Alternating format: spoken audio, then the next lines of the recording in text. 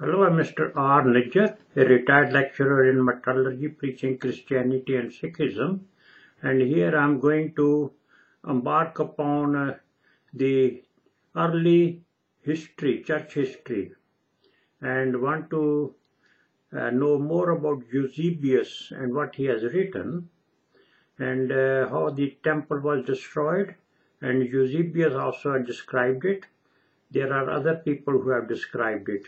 And here I came across today this one, which is uh, uh, mentioned by another author, Sulpicius Severus. I have put that his name in the description so you can read it. Referring in his uh, Chronica to an earlier writing by Tacitus 56 to 117 the like claimed that Titus favored destroying the Jerusalem temple to help uproot and demolish the Jewish people. Remember that Jesus, when he was uh, killed, you know, by the blasphemer Jewish people, so then the temple was mentioned that it will be destroyed and so will be the people disperse the husbandments. The account of jo Josephus described Titus as moderate in his approach, and after conferring with others, ordering that the thousand year old at that time temple be spared, Solomon's temple, dated to the 10th century BC, though the physical structure was Herod's temple about 90 years old at the time. According to Josephus, the Roman soldiers grew furious with Jewish attacks and tactics, and against Titus' orders set fire to an apartment adjacent to the temple, which soon spread all throughout. Josephus had acted as a mediator for the Romans and when negotiation failed, witnessed the siege and aftermath, he wrote, Now as soon as the army had no more people to slay or to plunder, because there remained none to be the objects of their fury, for they would not have spared any had there remained any other work to be done.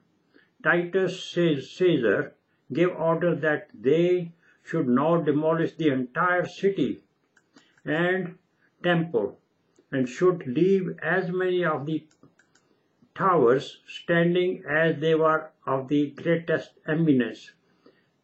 So that is Phasaelus and Hippicus and uh, Mariamne and so much of the wall enclosed the city on the west side.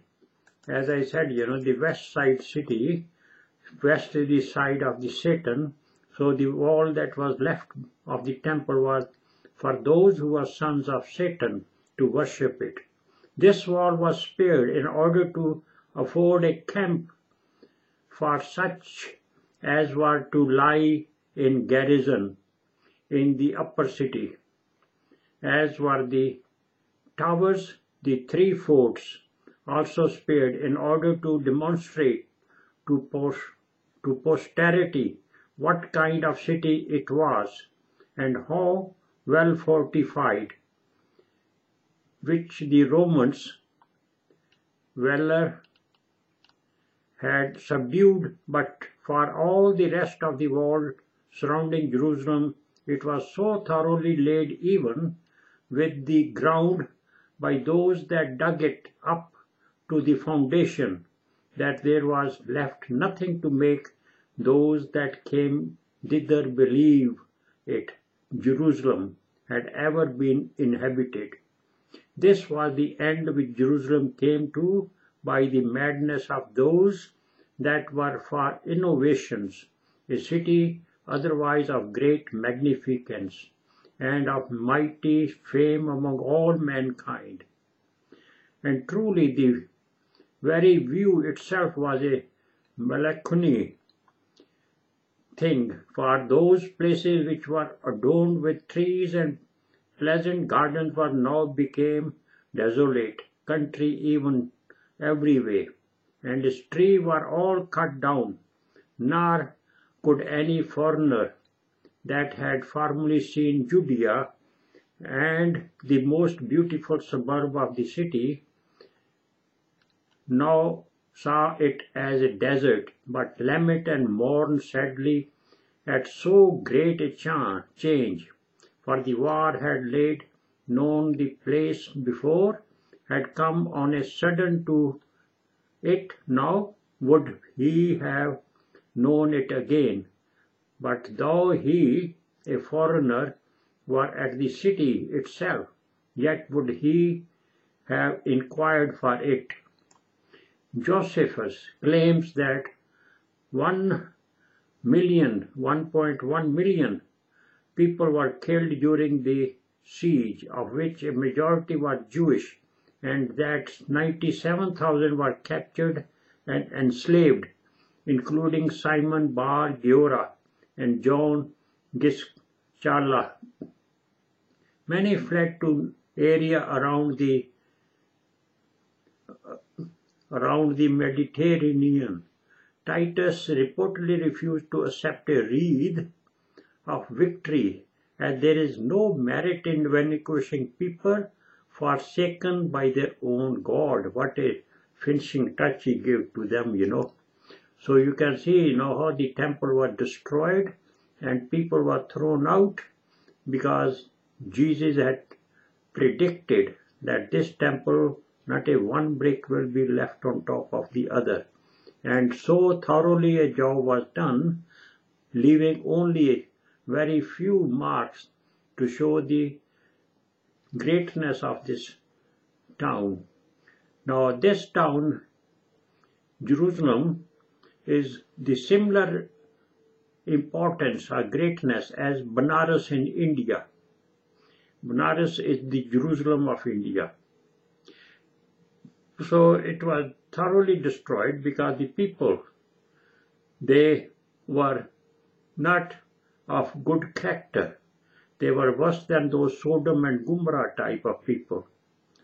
And uh, so the people, Romans, they were relatively, they were clean-hearted people. They were not liars. They stuck to their words.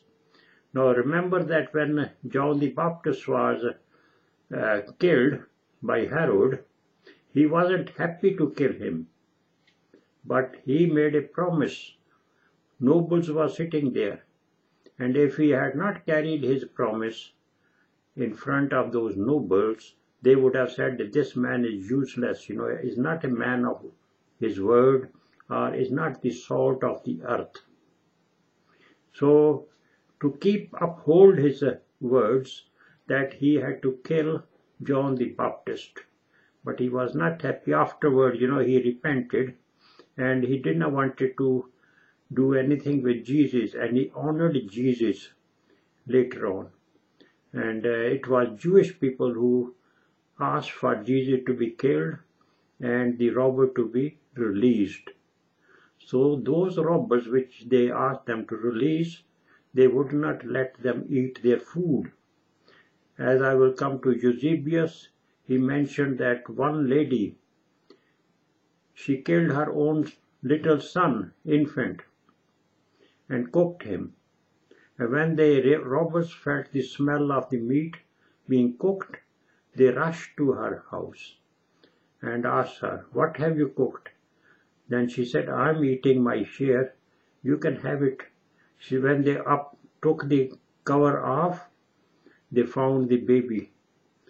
So they left it. So that was the situation the robbers created, which they begged to be released in favor of, uh, against, sorry, Jesus. Jesus to be crucified and robber to be released. So what type of then robber give them? Safety and other thing that you can see and the Romans being clean-hearted, they were very upset with their tactics. Thank you.